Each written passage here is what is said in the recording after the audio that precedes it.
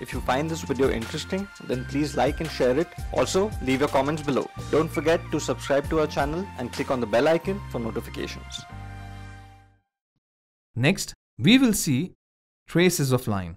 Consider the reference plane. Consider a line AB in first quadrant.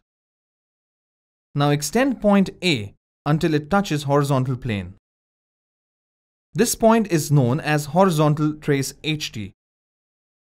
Now extend point B until it touches vertical plane. This point is known as vertical trace. Now project line AB in VP and HP to get front view and top view of the line.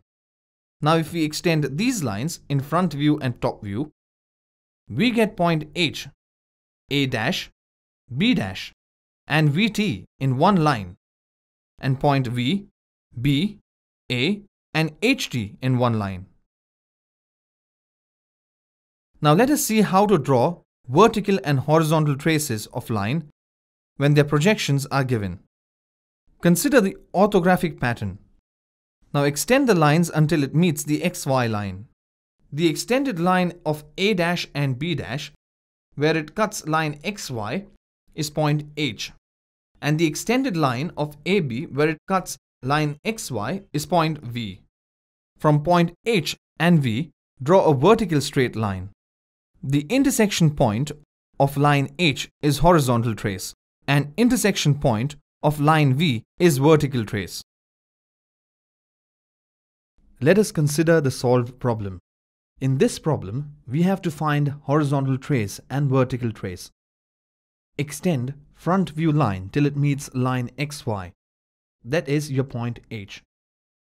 Extend top view line till it meets line XY.